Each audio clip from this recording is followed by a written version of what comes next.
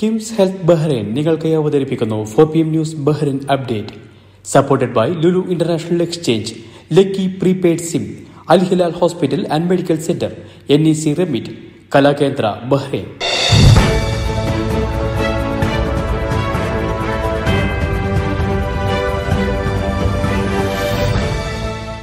നമസ്കാരം. ഇന്ന് രണ്ടായിരത്തി ഇരുപത്തിരണ്ട് ഓഗസ്റ്റ് മുപ്പത്തിയൊന്ന് ബുധനാഴ്ച. Four P M news Bahrain അപ്ഡേറ്റിലേക്ക് സ്വാഗതം. കടുത്ത ചൂട് അനുഭവപ്പെടുന്ന സാഹചര്യമാണെങ്കിൽ കൂടി നാളെ മുതൽ തൊഴിലാളികൾക്ക് ആശ്വാസമായിരുന്ന ബഹ്റിനിലെ ഉച്ചവിശ്രമ നിയമം ഇല്ലാതാകും. ജൂലൈ ഓഗസ്റ്റ് മാസങ്ങളിലാണ് ഈ നിയമം വർഷങ്ങളായി ബഹ്റിനിൽ നടപ്പിലാക്കി വരുന്നത്. ഈ മാസങ്ങളിൽ ഉച്ചയ്ക്ക് പന്ത്രണ്ട് മണി മുതൽ നാലു മണി വരെ പുറം പണി അനുവദിച്ചിരുന്നില്ല.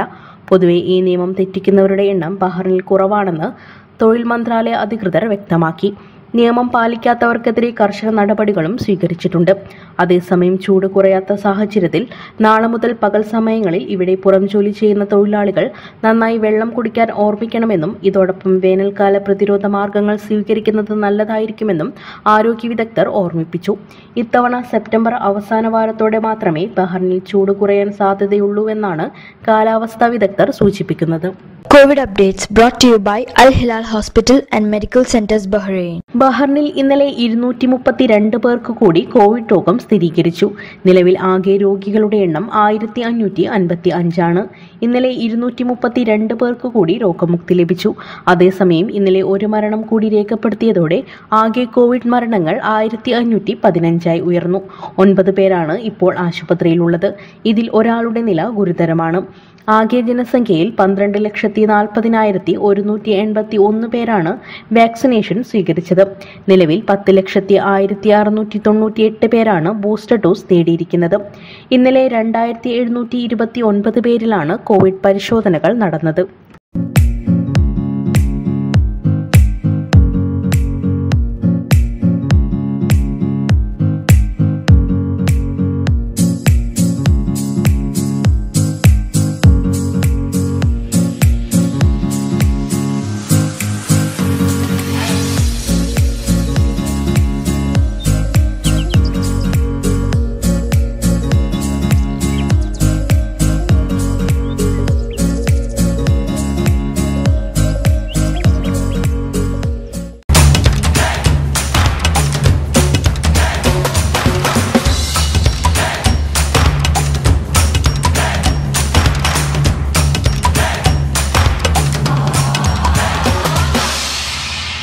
ബഹ്റൈനിലെ ഇന്നത്തെ മണി എക്സ്ചേഞ്ച് നിരക്കുകൾ നിങ്ങൾക്കായി നൽകുന്നു ലുലു എക്സ്ചേഞ്ച് ബഹ്റൈൻ.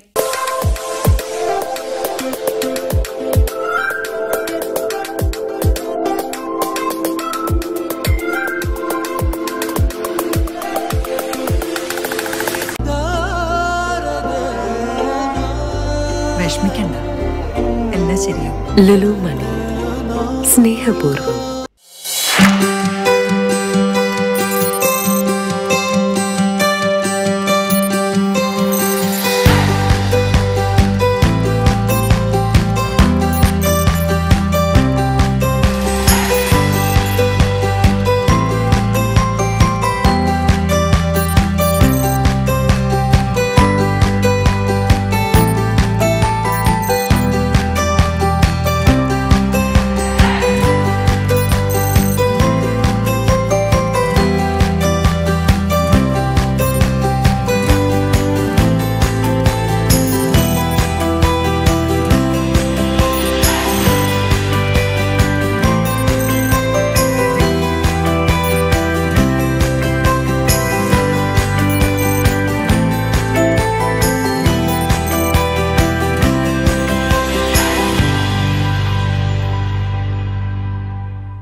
നിങ്ങളുടെ ഉള്ളിലെ കലാവാസനകളെ മികച്ചതാക്കാൻ പരിചയസമ്പന്നരായ അധ്യാപകർക്കൊപ്പം ആധുനിക സൗകര്യങ്ങളുമായി നിങ്ങൾക്കരികിൽ Kalakendra arts centre vocal dance drawing and painting piano keyboard drums violin guitar mridangam tabla veena എന്നിവയോടൊപ്പം karate അനുയോഗ പരിശീലനവും രാവിലെ എട്ട് മണി മുതൽ ഉച്ചയ്ക്ക് ഒരു മണി വരെയും വൈകിട്ട് നാല് മണി മുതൽ രാത്രി എട്ട് മണി വരെയും വാഹന സൗകര്യവും ലഭ്യം. Kalakendra arts centre W L L Adliya Bahrain. രജിസ്ട്രേഷനും കൂടുതൽ വിവരങ്ങൾക്കും വിളിക്കൂ. One seven seven one double two double five അല്ലെങ്കിൽ three two three one double two double five Kalakendra the House of Arts.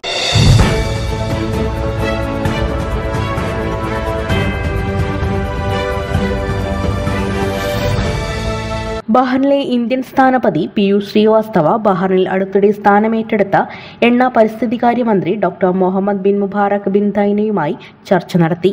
ഇരു രാജ്യങ്ങളും തമ്മിൽ എണ്ണ പരിസ്ഥിതി തുടങ്ങിയ മേഖലയിൽ കൂടുതൽ സഹകരിക്കുന്നതിനും ബന്ധം കൂടുതൽ മേഖലകളിലേക്ക് വ്യാപിപ്പിക്കാനുമുള്ള ശ്രമങ്ങൾ നടത്തുമെന്നും ഇരുവരും വ്യക്തമാക്കി. പുതുതായി ഏൽപ്പിക്കപ്പെട്ട ചുമതല ഭംഗിയായി നിർവഹിക്കാൻ മന്ത്രിക്ക് സാധിക്കട്ടെയെന്ന് സ്ഥാനപതി ആശംസിച്ചു.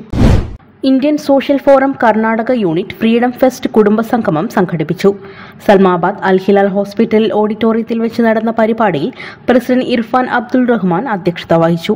Central committee general secretary Rafeeq Abbas ചടങ്ങ് ഉദ്ഘാടനം ചെയ്തു. കന്നഡ സംഘ ബഹ്റൈൻ പ്രസിഡന്റ് പ്രദീപ് ഷെട്ടി മുഖ്യാതിഥിയായിരുന്നു. സാമൂഹിക പ്രവർത്തകരായ അമർനാഥ് റായ് മുഹമ്മദ് ആഫീസ് ഉള്ളാൾ എന്നിവർ ആശംസകൾ നേർന്നു. യൂണിറ്റ് സെക്രട്ടറി നസീം സ്വാഗതവും യൂണിറ്റ് മെമ്പർ ആസിഫ് നന്ദിയും രേഖപ്പെടുത്തി. ബഹറിലെ പ്രവാസി വനിതാ കൂട്ടായ്മയായ സ്റ്റെപ്പ് ഇന്ത്യൻ ക്ലബ്ബുമായി സഹകരിച്ച് അനീതിയെ ന്യായീകരിക്കുന്ന നീതിയില്ലാത്ത ന്യായവിധികളോ എന്ന വിഷയത്തെ ആസ്പദമാക്കി ചർച്ചാ സദസ്സ് സംഘടിപ്പിച്ചു. ഹേമലത വിശ്വംഭരൻ ചർച്ച നിയന്ത്രിച്ചു. Indian club vice president Sani Paul Shemili P John Shabini Vasudev Sheli Saleem Nisar Kollam Shafeela Yasir Aneesh Nirmalan Jamal Iringal Adarsh Madhavankutty Ummu Ammar Asha Rajeev Rauf Karuppadanna E A Saleem Anoobi Kurup Ramani Anil എന്നിവർ ചർച്ചയിൽ പങ്കെടുത്തു. സബീന ഷെഫീഖ് സ്വാഗതവും രജിത സുനിൽ നന്ദിയും പറഞ്ഞു. ഓണാഘോഷങ്ങളോടനുബന്ധിച്ച് പ്രവാസി welfare പ്രവാസികൾക്കായി പായസ മത്സരം സംഘടിപ്പിക്കുന്നു. സെപ്റ്റംബർ ഒൻപതിന് വെള്ളിയാഴ്ച വൈകുന്നേരം നാല് മണിക്ക് മുഹറക്കിൽ വെച്ചാണ് പരിപാടി നടക്കുന്നത്. ഇതിനായി വിദ്യ മഹേഷ് ജനറൽ കൺവീനറും റഷീദ സുബേർ ലിജി ശ്യാം എന്നിവർ കൺവീനർമാരായും വിപുലമായ സംഘാടക സമിതി രൂപീകരിച്ചു. കൂടുതൽ വിവരങ്ങൾക്ക് മൂന്ന് മൂന്ന് അഞ്ച് മൂന്ന് എട്ട് ഒൻപത് ഒന്ന് ആറ് അല്ലെങ്കിൽ മൂന്ന് അഞ്ച് ആറ് ആറ് അഞ്ച് ഏഴ് പൂജ്യം പൂജ്യം എന്നീ നമ്പറുകളിലാണ് ബന്ധപ്പെടേണ്ടത്. ബഹറിലെ പ്രമുഖ കീബോർഡ് കലാകാരൻ മുഹമ്മദ് ബഷീർ ഹൃദയാഘാതം കാരണം മരണപ്പെട്ടു. ഇന്ന് പുലർച്ചെ നെഞ്ചുവേദനയെ തുടർന്ന് സൽമാബാദിലെ സ്വകാര്യ ആശുപത്രിയിൽ എത്തിച്ചെങ്കിലും ജീവൻ രക്ഷിക്കാൻ കഴിഞ്ഞില്ല. മലപ്പുറം ജില്ലയിലെ പൊന്നാനി സ്വദേശിയായ ഇദ്ദേഹം അൽഫാത്തെ ഗ്രൂപ്പിൽ കാർഗോ ക്ലിയറൻസ് വിഭാഗത്തിൽ ജോലി ചെയ്തു വരികയായിരുന്നു. കുടുംബം നാട്ടിലാണ്. മൃതദേഹം മറ്റു നടപടികൾക്കായി സൽമാനിയ മോർച്ചറിയിലേക്ക് മാറ്റി. ബഹ്റൈൻ പ്രവാസിയും പാലക്കാട് പത്തിരിപ്പാല മണ്ണൂർ സ്വദേശിയുമായ അനൂപ് കുമാർ മേനോനെ താമസ സ്ഥലത്ത് മരണപ്പെട്ട നിലയിൽ കണ്ടെത്തി. മുപ്പത്തിയേഴ് വയസ്സാണ് പ്രായം. നാസർ അൽ ഹാജിരി വർക്ക്ഷോപ്പിൽ സൂപ്പർവൈസറായി ജോലി ചെയ്തിരുന്ന ഇദ്ദേഹം നടുവേദനയെ തുടർന്ന് കുറച്ച് ദിവസമായി അവധിയിലായിരുന്നു. കഴിഞ്ഞ ശനിയാഴ്ചയായിരുന്നു ഇദ്ദേഹത്തിന്റെ ജന്മദിനം. ഞായറാഴ്ച വീട്ടിലേക്ക് വിളിച്ച് സംസാരിച്ചതിന് ശേഷം പിന്നീട് ഇയാളെ ഫോണിൽ ലഭിക്കുന്നുണ്ടായിരുന്നില്ല. ഇതേ തുടർന്ന് സുഹൃത്തുക്കൾ നടത്തിയ അന്വേഷണത്തിലൊടുവിലാണ് അസ്കറിലെ താമസ സ്ഥലത്ത് മരണപ്പെട്ട നിലയിൽ കണ്ടെത്തിയത്. ഭാര്യ ഊർമിള മക്കൾ ഹൃദ്യ ഹൃദ്ദീഷ്